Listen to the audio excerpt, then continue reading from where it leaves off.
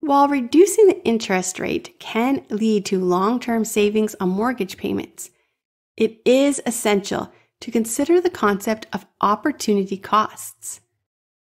By allocating funds towards buying down the interest rate, individuals may forego opportunities to invest in alternative vehicles such as stock market or real estate, which could potentially yield higher returns.